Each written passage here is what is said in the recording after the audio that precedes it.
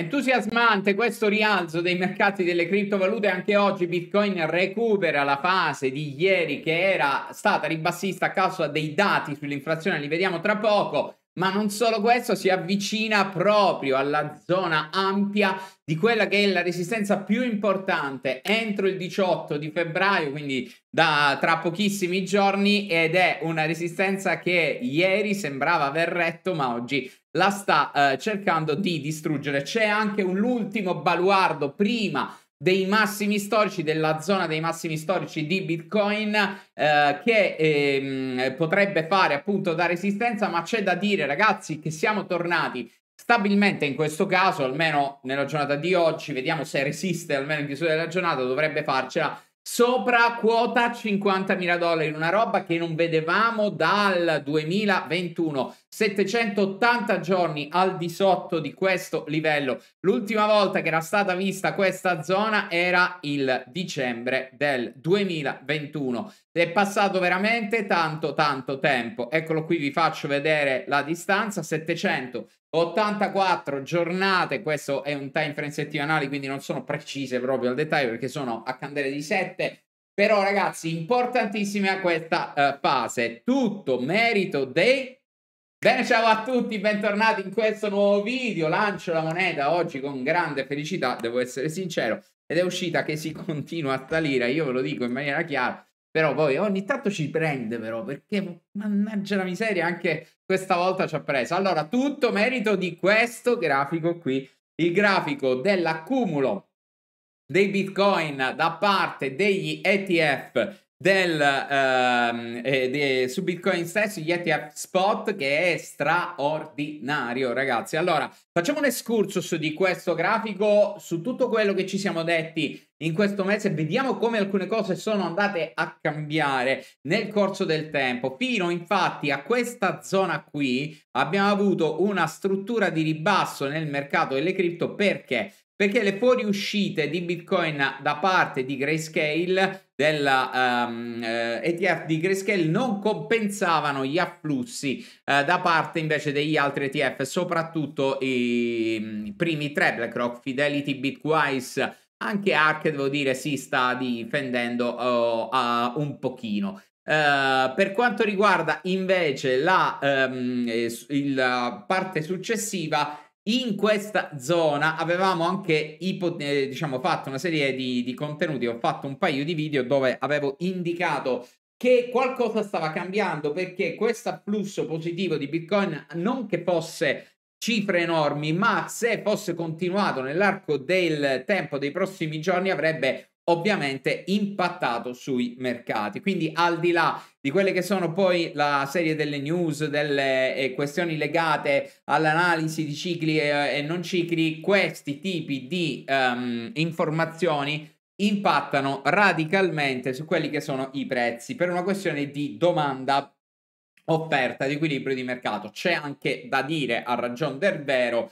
che questo tipo di eventi avvengono una volta ogni 50 anni, oserei dire, perché sostanzialmente non è che fra un anno avremo nuovamente un'approvazione degli ETF Bitcoin che continuano a raccogliere. Quindi è anche vero che le news di questo tipo uh, hanno impatto, ma è anche vero che news di questo tipo hanno impatto su tutto, eh? cioè la comandano su ogni analisi, su ogni cosa però esistono una volta ogni tot anni, quindi insomma la stragrande maggioranza del tempo il mercato è molto più legato a quelle che sono le analisi e, e, e, le aspettative degli operatori piuttosto che ragioni di natura fondamentale, anche perché ragioni di natura fondamentale così non possono uscire ogni, ogni volta. Però di questo ne avevamo parlato e dell'afflusso dei vari, eh, della potenza diciamo dei vari ETF ne abbiamo parlato. La questione è finita, sembrerebbe di no al momento perché guardate come continuano le accumulazioni, ma soprattutto anche negli ultimi giorni incredibili, questi sono i giornate abbastanza rilevanti, ragazzi. E io non credo che sia ferma qui la questione perché comunque 12.000 bitcoin, 9.000 bitcoin, 9.000 bitcoin, 8.000 bitcoin, insomma, sono comunque delle costanti prese di mh, acquisto. Nella live che avevamo parlato sulla questione dell'halving, cosa sarebbe cambiato questa volta, io vi avevo posto l'attenzione e la pulce nell'orecchio nel mio classico gergo Open Your Mind che questa fase di salita poteva essere differente dalle turbulenze dell'altra perché questo afflusso continuo di domanda, se sostenuto ovviamente, e dovremmo vedere se lo faranno ancora nell'arco dei prossimi mesi, produceva un effetto tampone alle eventuali cadute. Questo effetto tampone si è verificato alla perfezione nella giornata di ieri. Tanto è vero che la giornata di ieri è iniziata uh, maluccio per via, anzi facciamo così, mettiamo un time frame leggermente più stretto così lo vediamo nel breve e si è trasformata in questa cosa qui perché erano uscite delle news, adesso vi faccio vedere anche le news sul tasso di inflazione così le commentiamo. Eccole qui ragazzi, allora le news sull'IPC annuale degli Stati Uniti più alte del previsto, erano previste a 2,9 il tasso di inflazione annuale è più alto, anche quello mensile è più alto, quindi in linea di massima non è stato preso bene questo eh, dal mercato, anche le scorte di, di, di petrolio, insomma, eccetera. Uh, in linea di massima, um, questa notizia uh, indicherebbe sempre la, la stessa uh, questione, cioè che c'è in pratica una inflazione un po' più persistente. Quindi, questo ha causato questo down che abbiamo poi visto nella giornata di ieri. Down che però si è riassorbito molto velocemente. Down che è stato anche nelle borse mondiali, ragazzi, non solo um, nella uh, questione di, dei mercati delle cripto, anzi vi faccio vedere per esempio quello che è stato um, evidente uh, nella, uh, nei rendimenti dei titoli di Stato americani che risentono molto di questo tipo di, uh, di, questioni legate al tasso di inflazione e soprattutto sono anche degli indicatori importanti di quello che uh, è la politica monetaria, molto più di tante altre ehm, cose in, in, generale. Allora vi faccio vedere la questione di questo uh, che è il ventennale Uh, ieri, nella giornata di ieri, queste sono le mie analisi, diciamo, di natura old market, ha toccato, vedete, bam, il massimo 4-6% di rialzo, quindi ha avuto un'impennata del 2,29% il tasso di rendimento uh, ventennale dei treasury bond americani, questo significa in pratica una cosa sola, spostamento più in là nel tempo della politica espansiva della Federal Reserve e quindi del taglio dei tassi della Federal Reserve. E di conseguenza i bond, in questo caso i treasury a lunga scadenza, reagiscono un po' male eh, e, e, e, quindi vanno a pompare, in questo caso i rendimenti, che significa che scende il uh, prezzo del treasury bond.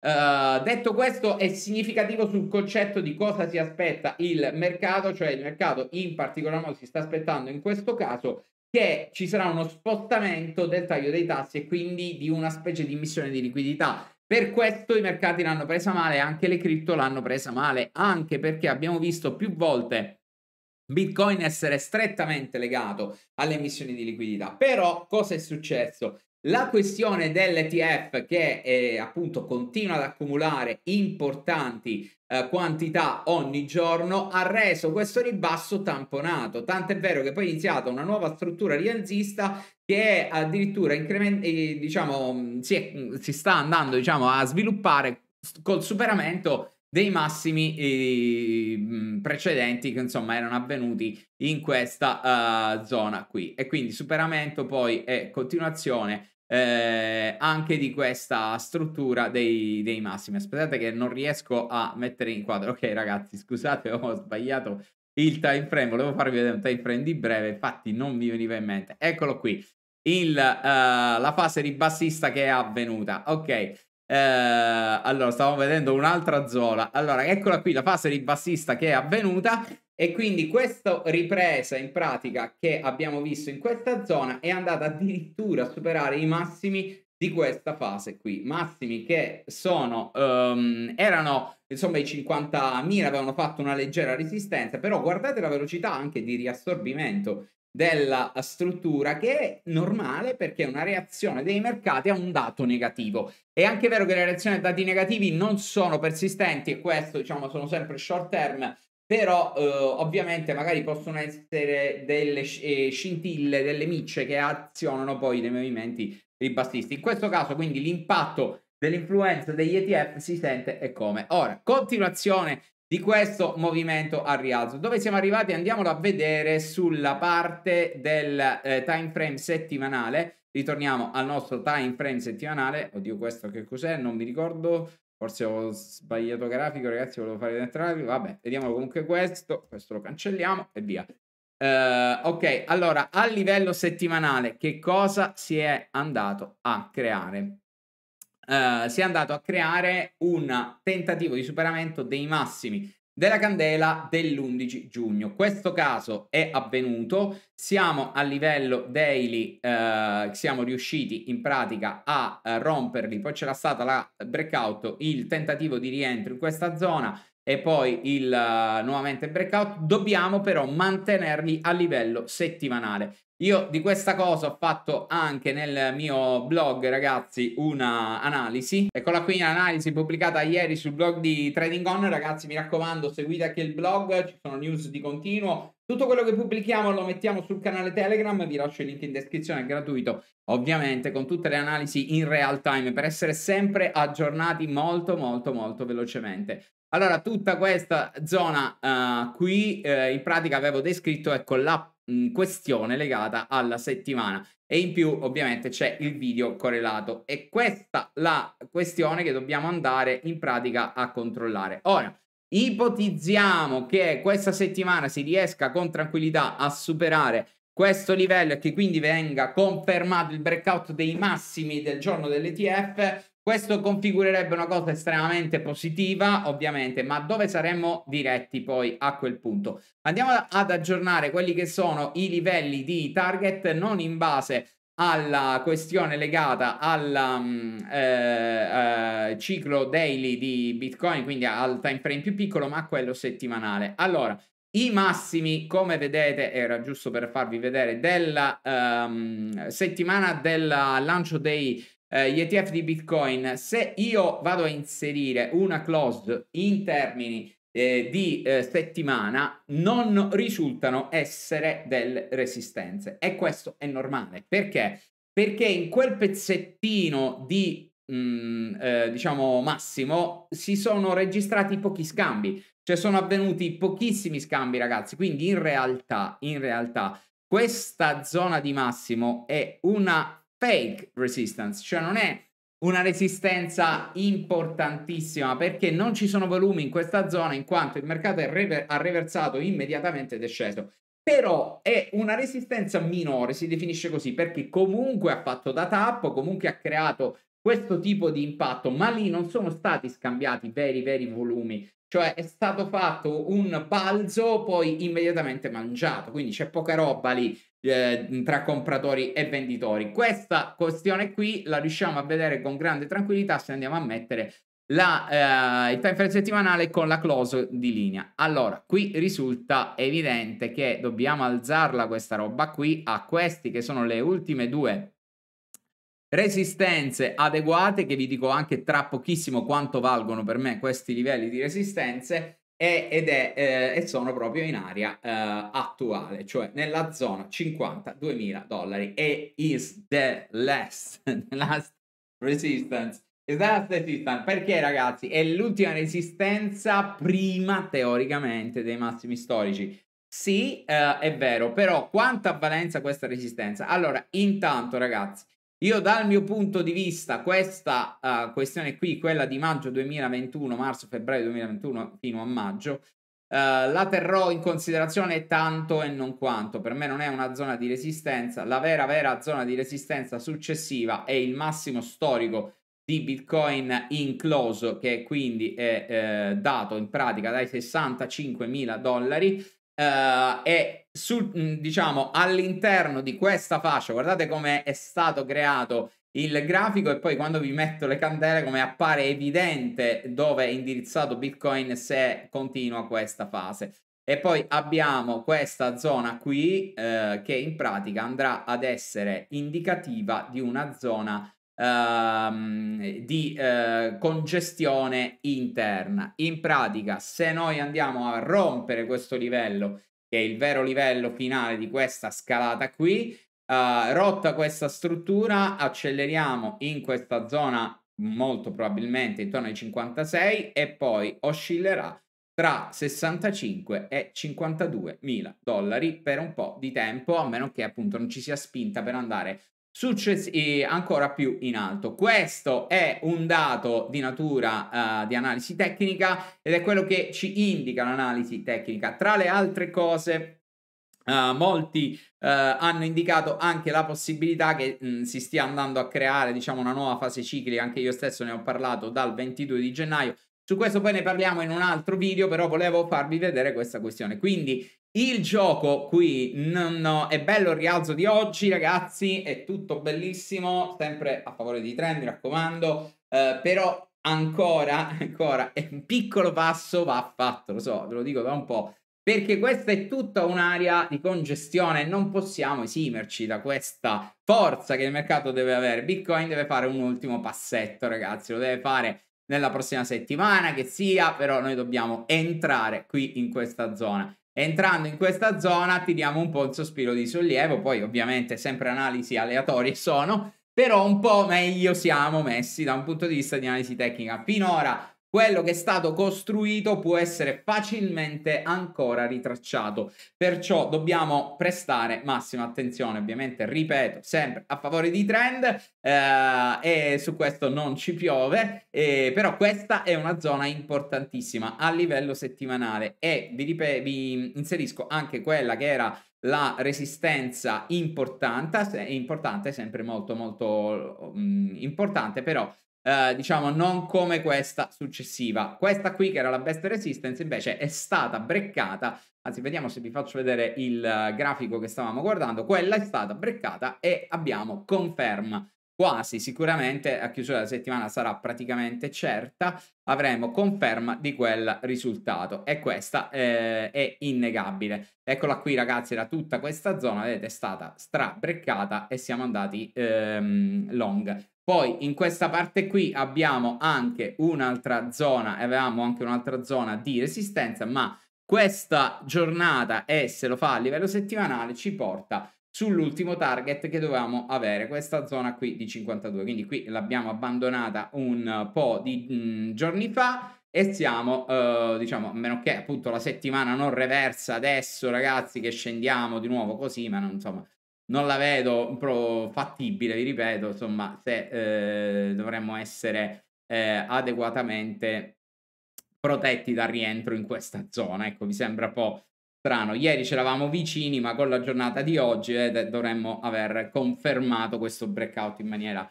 definitiva di tutta questa, uh, questa zona. Uh, va bene, allora ragazzi, detto questo, andiamo anche a vedere TH che sta facendo perché ha performato un po' meglio in questi giorni si è avvicinato un po' meglio a Bitcoin, ma resta comunque al passo, cioè o sale come Bitcoin o peggio, non è che c'è la differenza. ETH ancora continua di, di, questa sua fase un pochettino laterale, vi faccio vedere infatti anche il eh, super grafico della Uh, del, uh, dello spread, uh, quindi della eh, eccola qui, ragazzi, non riuscivo a trovarvelo. Del, um, il grafico del uh, rapporto ETH-BTC che eh, questo è a livello settimanale, in questa settimana guadagna un 2,50%, ma vedete anche se eh, siamo saliti tantissimo, ha recuperato un pochino dai giorni scorsi che aveva fatto puh, questa fase, però resta un po' al palo e tra le altre cose è a livello di un eh, supporto importantissimo. Questo configurerebbe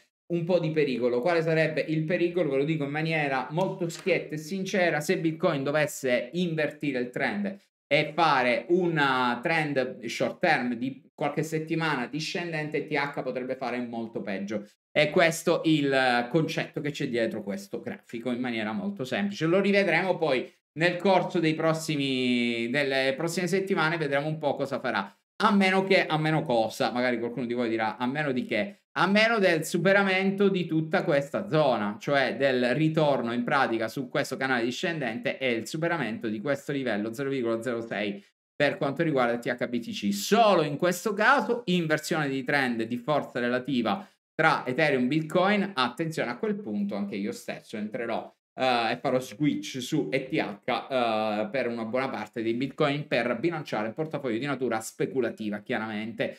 eh, creato per fare questa cosa. Allora, vi faccio vedere anche il grafico di Ethereum, eh, eccolo qui, quello naturale. Solo in questo momento sta tentando di superare il massimo dell'8 a differenza di quello che abbiamo visto su Bitcoin che il massimo dell'8 dell'11 di gennaio lo ha superato due giorni fa. Vedete la differenza è un po', uh, un po questa. Qui in questo caso invece eh, stiamo tentando insomma in questa fase. Poi tra l'altro uh, ETH aveva avuto degli atteggiamenti diversi Uh, anche rispetto a Bitcoin in questa fase. Quindi, anche se sono simili rispetto al massimo di gennaio, sono diversi in termini di intensità perché Ethereum era salito a gennaio molto meno di, di Bitcoin e quindi comunque questo era un massimo più basso. Quindi, anche se qui stanno superando nello stesso modo, quindi galoppano nello stesso modo, c'è bella differenza. Ma tra le altre cose c'è una differenza importante, tanto cancello ragazzi un po' di roba non ci serve più, uh, c'è una differenza anche un po' importante in cosa? In questa area di congestione, perché Ethereum non ha effettivamente molto spazio davanti perché ha questa zona qui e poi immediatamente questa zona qui, cioè una serie di resistenze ancora difficili per il, uh, la regina delle cripto. Prima di avvicinarsi alla sua vera zona che adesso possiamo andare a costruire per esempio anche in questo caso andando a utilizzare i livelli vari. Cioè qua abbiamo la prima vera resistenza 3005 per Ethereum Uh, e poi successivamente l'altra, quella importantissima, i massimi storici a 4.000 4.700 dollari per quanto riguarda ETH. Quindi capite bene cosa significa, siamo ben lontani da raggiungere il livello di resistenza che è questo qui, che è lo stesso livello che Bitcoin in questo momento sta uh, cercando di uh, battere esattamente, eccolo qui ragazzi, è quello prima della nuova fase di, uh, dei massimi storici, invece Ethereum è qui invece di essere qui prima di entrare, quindi guardate la differenza evidente in termini proprio di forza che è quella che poi vediamo in quel grafico che vi ho mostrato prima. Però attenzione perché questa cosa dovremmo tenerla sotto stretta osservazione. Quindi niente è cambiato da questo punto di vista, cambierà in futuro? Io penso di sì, assolutamente, quando, quando la storia degli ETF di Bitcoin sarà conclusa, ma ancora non è così. Monitorate questo tabella Bitcoin um, eh, su BitMEX sul profilo eh, Twitter di BitMEX Research, eh, la pubblicano sempre loro, è abbastanza accurata. Um, questi flussi stanno eh, eh, diventando veramente imponenti, ma attenzione perché la vera domanda sarà capire fra un po' di tempo, qualche settimana, cosa succede quando questi flussi diminuiscono oppure si fermeranno. Allora, tutto lì sarà il discorso e come sta succede? Eh, dovremmo stare a vedere, lo vedremo insieme. Ciao ragazzi!